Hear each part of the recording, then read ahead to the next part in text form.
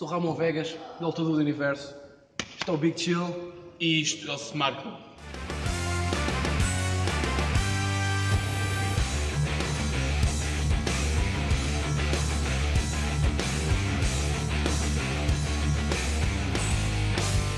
Boas fãs de wrestling e bem-vindos ao Smartdown. Meu nome é João Basílio e eu agradeço muito a vossa presença aqui mais uma vez no meu vídeo. Antes de mais, um agradecimento especial ao vencedor da Taça Tara Santa Borda de 2015 e main eventer do WP Academia 5, o Sr. Ramon Vegas e o seu parceiro Shield que vai fazer a sua estreia no WP Academia 5. Muito obrigado por eles abrirem o Smartdown. Uh, e ele é o vencedor de um dos maiores torneios que há em Portugal. E, coincidência, temos uh, neste Survivor Series um torneio de igual, quase igual importância, diria, pelo WWE World Heavyweight Championship. Mas, ao contrário da Taça Tazanta Borda, uh, eu acho que este é sinceramente mais previsível.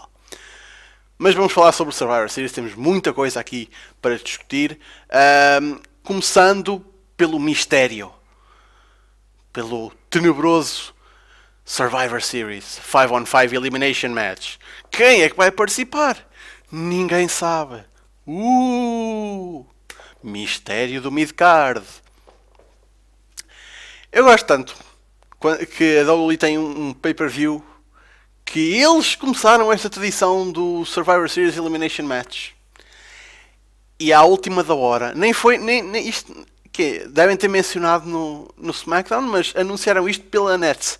Ah, sabem este pay-per-view que vai acontecer este fim de semana? Que a gente, ao longo dos anos, construímos esta reputação para ter este tipo de combates? Ah, espera lá, isso vai acontecer, mas não vamos dizer quem é. Porque não interessa pura e simplesmente este combate não interessa. Vão estar aqui 10 pessoas do midcard que a WWE está-se a cagar o que é que elas estão a fazer, estão ali a encher aquele spot. Porreiro. As minhas uh, previsões para este combate é que a equipa face ganhe. I mean, porque não? Sinceramente, olha, eu nem me admirava que isto fosse no pre-show, nesta altura.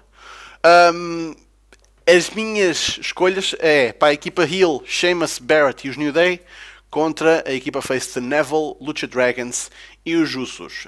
Um, não me admirava muito que o Sin Cara ficasse fora e pusessem tipo o Cesaro, uh, mas acho estranho dividir equipas, mas sinceramente a esta altura do campeonato tudo é possível, visto que who gives a shit, eles anunciaram o combate na net. Isto é, isto é quase ao nível de Matt Hardy a, a fazer vacate ao título da TNA por YouTube. É quase. Ainda não chegou a esse nível, mas é quase. Por isso, indo para combates que realmente até significam alguma coisa. Dolph Ziggler contra Tyler Breeze. Um, primeiro combate de Tyler Breeze em pay-per-view. Um, pay-per-view da main roster, vamos dizer assim. Uh, porque ele já participou em takeovers e, apesar de não serem pay-per-views, são eventos especiais. Um, eu quero que o, que o saia daqui vencedor primeiro combate em pay-per-view, uh, sair por cima no início da feud. É, é tradição o heel sair primeiro por cima, diria. No entanto, também não ficava descontente se o Ziggler ganhasse como o veterano, mas no final do combate o Ziggler, uh, o Ziggler acabasse tipo, completamente KO, porque o Breeze atacava e pá, contra, mandava contra o poste, mandava contra tudo e mais alguma coisa. Menos a Samurai, coitado, não manda o Ziggler contra a Samurai. Mas, é pá, que, era um bom combate. Eu acho que é, é uma feud que toda a gente queria desde que viu o Tyler Breeze. É pá, o homem às vezes, em certas posições, parece a cara chapada do Dolph Ziggler.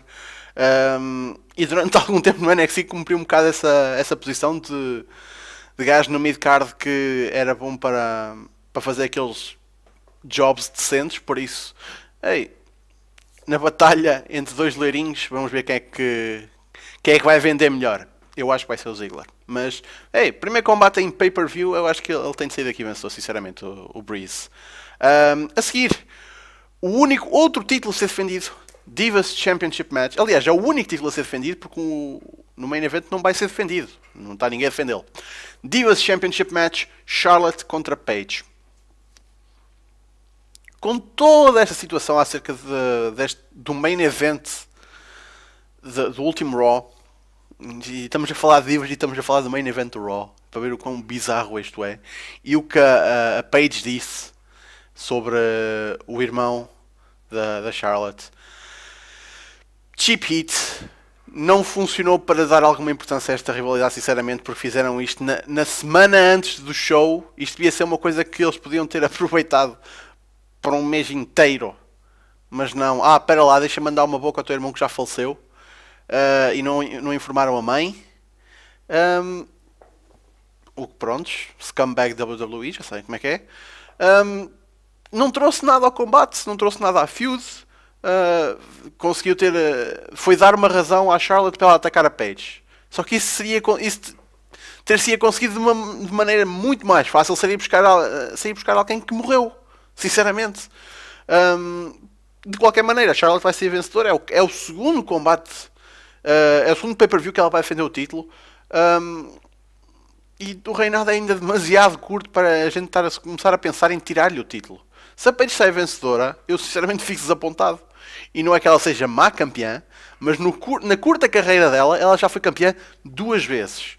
E uma delas foi mesmo na estreia. Uh, ela não precisa do título já. Especialmente porque só existe um título naquela divisão. Por isso, eu quero que aquele título tenha um bom reinado e não ande sempre trás para a frente, dois em dois meses. Não vale a pena. Charlotte a vencer.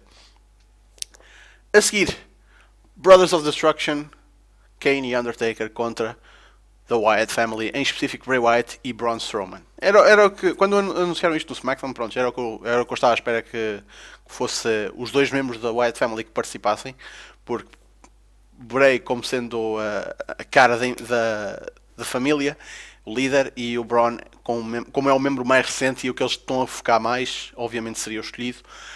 Um, este, eh, sinceramente, este podia ser o main event o foco da promoção deste, deste Survivor Series não está no Survivor Series Elimination Match, está mais no Undertaker e no torneio pelo título. Por isso, sinceramente, isto para mim podia ficar para o main event.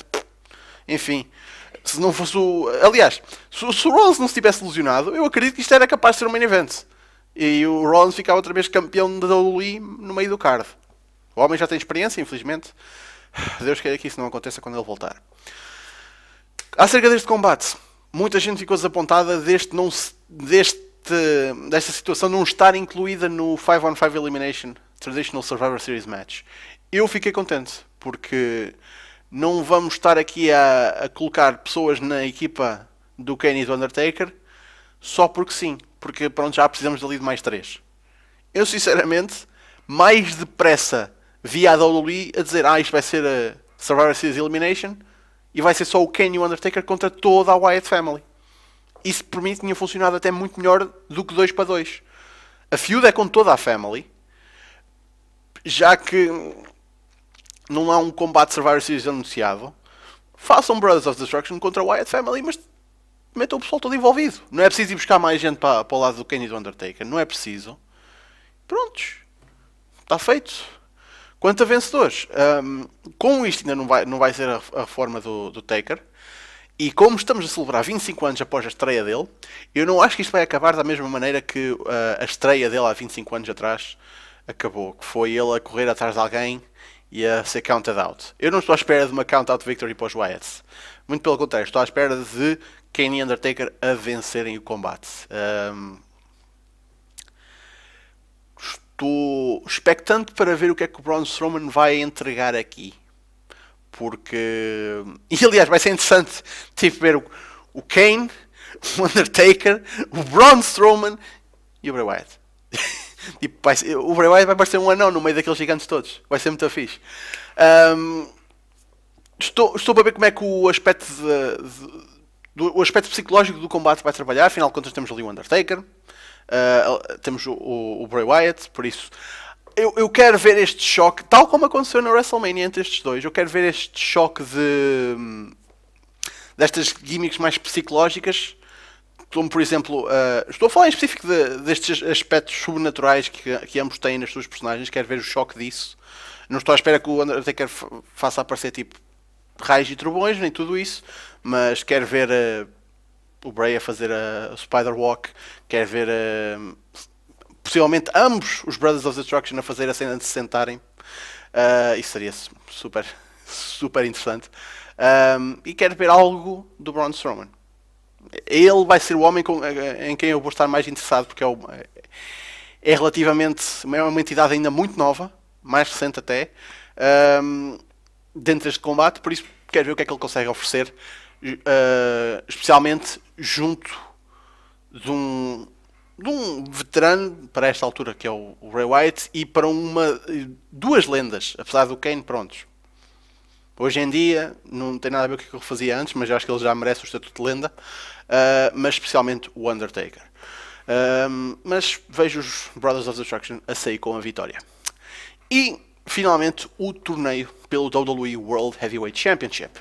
Começamos com Kevin Owens contra Dean Ambrose. Apesar de eu acho que o segundo combate que eu vou falar vai acontecer primeiro, porque o Reigns precisa descansar.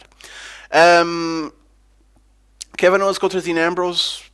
Aliás, eu posso juntar estes, estes dois combates, aliás, to, todo este, esta parte do show em condensar tu, tudo isto. O Ambrose vai avançar, o Reigns vai avançar. O main event vão ser eles dois. É o que toda a gente está à espera. Por um lado, ei, ao menos os dois campeões de mid-card chegaram às semifinais. Isto tem os seus positivos e tem os seus negativos. Primeiro, é positivo porque significa que eles têm alguma importância dentro do estatuto da empresa e neste momento o topo da empresa é esta semifinal. São estas semifinais. São os dois campeões de mid-card, o Reigns e está, eh, está a ser considerado o Ambrose. Ótimo! Isto é o topo da empresa neste momento. São os dois campeões, o Reigns e o Ambrose. Ótimo! não tem problema que eles fiquem pelas semifinais. Porque na, uh, na final estamos a falar do título mundial e estes dois não estão a esse nível ainda. Apesar de o Del Rio é um ex-campeão mundial, o Owens é um futuro campeão mundial. Uh, nesta altura temos o Ambrose e o Reigns para focar. Não há problema nenhum. Por isso, quero um bom combate do Ambrose e do Owens. Ambrose ganha. Quero um, bom, quero um, um combate que o Alberto Del Rio não dê cabo do Roman Reigns de alguma maneira porque a gente precisa do homem. Por isso, eu sei, eu sei, que o Reigns não tem uma máscara para ser arrancada, mas é para se calhar tirar-lhe as calças ou o caralho. Um, Reigns avança, obviamente. E afinal, é o que toda a gente quer ver: Reigns, Ambrose. Um, eu estou à espera de um heel turn. Gostava muito que fosse um heel turn do Roman. E como ele vai levar o título, sinceramente acho que ele vai levar o título. E sim que há alguns rumores que não são notícias, são rumores que ah, os oficiais da WWE querem escolher e estão inclinados mais para o Ambrose, o que seria muito, muito porreiro. Eu acho que a aposta está a ser feita no Roman. Vamos com o Roman. Mas virem o homem heel. O Ambrose é adorado por toda a gente e é aquele gajo que parece o Cesar, está sempre ali quase a chegar ao brass ring, só que não consegue. Temos aqui uma situação perfeita para ter fio para os. Para até, até Royal Rumble, sinceramente. Um, Roman uh, faz o seu heel turn. Um, temos, podemos ter rematch no, no TLC. Depois vem a Rumble. Epá, estamos embalados para construir uh, um Roman Reigns heel até à, à, WrestleMania que o pessoal não vai ter problema em ver no main event. Para não ser como foi uh, naquela. Tanta, tanta gente. Pronto, lá está. WrestleMania, mas eu nunca vi tanta gente uh, a reagir daquela maneira a uma entrada do Roman Reigns. Claro que tinha sido uma WrestleMania, que é o maior show do ano, mas é pá, pronto. Aquela entrada que ele fez contra o Lesnar, por amor de Deus. Deus queira que, isso não, que o que aconteceu na WrestleMania 31 não se repita e, sinceramente, que na WrestleMania 32 o Reigns. Aliás, eu espero que isso se repita, mas por razões diferentes. Eu espero que o Reigns entre e o público todo seja contra ele, mas desta vez pela razão certa, que é ele ser heel. Por isso, hum, vamos ver o que é que vai acontecer aí. Há quem diga até que. Hum, há quem considere a hipótese do Ambrose virar heel. É assim, eu já vi o que o Ambrose consegue fazer como heel nos independentes. É pá, o homem consegue ser um heel completamente tipo Randy Orton vezes 10. Níveis completos de, de, loucura que só ele consegue atingir. Claro que também tinha essa liberdade, não sei se terá essa liberdade na WWE. Mas o Ambrose consegue ser um ótimo heel. Muito melhor do que, do que ele conseguiu ser no, no Shield. Mas eu ainda não. E o Reigns também, o que eu já vi de heel dele foi no Shield e pronto, e foi ele a ser o gajo silencioso e forte. Eu quero ver um bocadinho mais dele. Porque se vamos dar o título a este homem, ao menos que ele faça alguma coisa. Ele, neste momento, o Ambrose é mais babyface que o Roman. Sim, o, a, o fã casual gosta do Roman, mas também gosta do Ambrose. Sem dúvida. Um, por isso, se juntarmos os fãs todos, hardcore, casuais, um, há mais gente a favor do Ambrose do que do, do Reigns. Porque estes dois estão ao mesmo nível para os fãs casuais. Mas o fã hardcore odeia o Reigns. Por isso, se estamos a considerar toda a gente, o Ambrose continua a, a sair por cima nesta situação. No entanto, se o título vai para o Roman, ao menos vamos fazer aqui um main event que vai dar que falar no dia depois no Raw. Ao menos isso. Por isso, estou a esperar que o Roman saia com o título, mas que também saia heel. E o público adora o Ambrose. Não vale a pena virá-lo heel nesta altura. Quando ele virar heel vai ser espetacular, mas eu não quero que isso aconteça agora. Um, claro que e eu estar a dizer isto a, a quebrar corações de muitos homens e mulheres, não caminho, que são fãs deste bromance do, do Reigns e do Ambrose. Tipo, epá, isto, isto já, já deu o que tinha a dar, sinceramente. Mais que isto é masturbatório, tipo, não, não vale a pena. Por isso, Roman campeão, por favor que vire heel. Um, e, e, de qualquer maneira, eu, vejo só, eu só o vejo ele sair como campeão. Uh, se não houver um heel turn, nesta altura já aceito também o, ser o Ambrose a virar heel, mas nesta altura eu estou mais à espera que o Roman Reigns saia campeão, eu estou à espera que haja um heel turn de alguém. É preciso haver aqui um heel turn neste main event, para dar algum interesse a este evento. Porque sinceramente eu olho para este card e fora o combate do Taker porque é o Taker. Não há aqui assim muita coisa que seja realmente de interesse. Temos a estreia do Tyler Reese em pay-per-view, só que isso não é um draw de pay-per-view. Quem não é um draw de pay-per-view, só que duvido que ele esteja no main event. O main event tem de ter alguma importância, não é só, ah, vamos curar um novo campeão. Isso é algum interesse, mas é o interesse que faz as pessoas comprar mas neste momento a WWE precisa um interesse das pessoas para comprar e ver o Raw no dia seguinte. Porque as pessoas são capazes de comprar a network, sim. Mas ver o Raw no dia seguinte, cada vez está mais difícil estar ali 3 horas a ver um show que sinceramente tem tipo uma hora de bom conteúdo. Se tanto. E depende de quanto tempo eles dão aos New Day. Por isso, esta é a minha antevisão do Survivor Series. O que é que vocês acham que vai acontecer? Quem é que vocês esperam que saia campeão mundial da WWE no final deste evento? Deixem as vossas opiniões, como sempre, nos comentários. E nós ficamos por aqui, meus amigos. Muito obrigado pela vossa presença. Vocês já sabem que domingo, antes do pay-per-view, uma hora antes, nós vamos fazer a nossa, o nosso pre-pre-show.